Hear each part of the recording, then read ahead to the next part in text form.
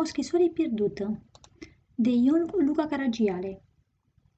Personaje Tipătescu, prefectul orașului, Zoe, soția lui Trahanache și amanta lui Tipătescu, Zaharia Trahanache, soțul Zoei, membru marcant al partidului de guvernământ, Cațavencu, proprietarul ziarului Răcnetul Carpaților, Farfuridi și Brânzovenescu, membri ai partidului de guvernământ, Pristanda, polițistul orașului, Agamiță Dandanache, candidatul propus de la centru, cetățenul turmentat.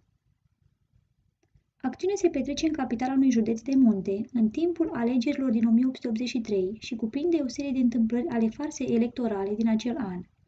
Piesa debutează cu discuția dintre Tipătescu, prefectul orașului și polițistul Pristanda, omul său de încredere.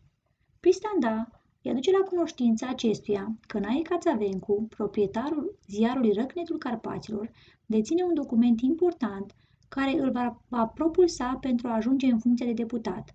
Curios, Tipătescu îi ordonă lui Pristanda să afle prin orice mijloace despre ce scrisoare este vorba.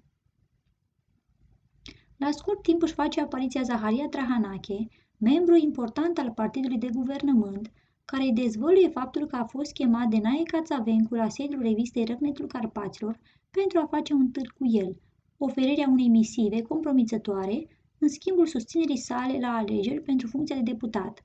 În caz contrar, afirmă că va publica scrisoarea care ar constitui o pată la adresa, un, la adresa unoarei familiei sale. Se pare că acesta a găsit o scrisoare de la Tipătescu către Zoe, soția lui Trahanache. Interesant este că, deși Zaharia Trahanache recunoaște scrisul prefectului, consideră că totul este un scenare și nu pune preț pe vorbele lui Cațavencu. Ba mai mult, ticluiește un plan prin care să dovedească fraudele pe care acesta le-a făcut prin intermediul societății pe care o conduce. Zoe, aflând de cele întâmplate, vine la amantul ei, mărturisindu-i că a pierdut scrisoarea pe stradă în timp ce se întorcea de la el, probabil când a scos Batista din geantă. În timp ce aceștia încearcă să găsească o rezolvare pentru problema creată, sosește un cetățean turmentat, care face lumină în acest caz.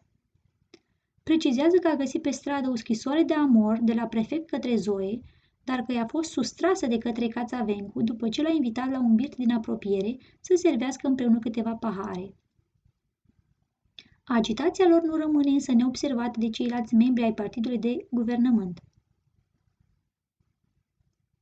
Brânzovenescu și Farfuridi vin și cer socoteală lui Tipătescu, aflând de întâlnirile clandestine ale lui Trahanache cu Cațavencu.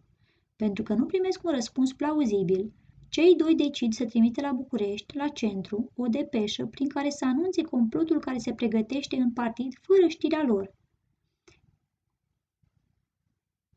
Din discuția dintre Tipătescu și Cațavencu, reiese clar intenția acestuia din urmă, și anume de a fi susținut la alegeri pentru funcția de deputat în locul contra candidatului său Farfuridi.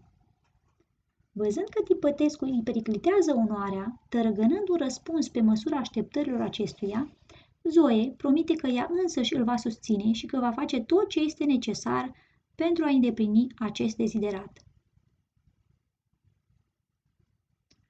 Trahanache descoperă între timp că Nae Cațavencu delapidase statul folosindu-se de societatea enciclopedică Aurora Economică pe care o conducea, aspect care înclină balanța în favoarea sa.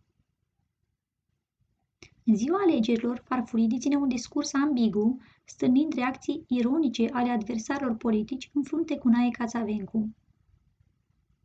Însă nici Cațavencu nu se lasă mai prejos, încercând să înduioșeze auditorul prin spiritul său patriotard, plângând atunci când începe să vorbească despre România. În urma învălmășelii create, Cațavencu pierde pălăria în căptușeala căreia se afla scrisoarea compromițătoare, dar pe care o găsește din nou cetățeanul turmentat.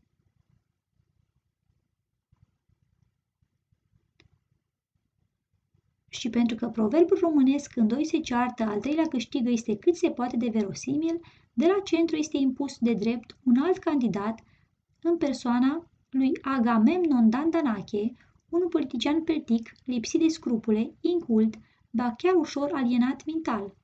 Acesta mărturisește cu nonșalanță că a ajuns în această funcție în urma unui șantaj, Se pare că și l-a găsit o scrisoare compromițătoare în pardesiul unui tânăr din înalta societate, care i-ar fi adus prejudicii morale importante dacă ar fi ajuns pe mâna presei. A apelat la acest tertip pentru a fi sigur că va fi ales. Interesant este că, în timp ce Cațavencu reacționase cu discreție, Dandanache se laudă cu fapta sa, considerând-o firească. Ba mai mult, nu a restituit scrisoarea pentru a o putea folosi la nevoie ca armă politică. Cațavencu, spășit, dându-și seama de situația dificilă în care se află, vine la Zoe pentru a-i cere iertare. Concomitent, vine și cetățeanul turmentat și restituie scrisoarea, punând din nou întrebarea care îl frământase încă de la început, și anume, cu cine să voteze. Însuși Cațavencu îi scrie pe bilet numele lui Agamiță Dandanache, bucuros că a fost iertat de Zoe pentru fapta sa mărșavă. Tot el se angajează să conducă ceremonia de numire a noului deputat Agamiță Dandanache, moment în care toți reprezentanții partidelor, indiferent de culoarea politică, se împacă.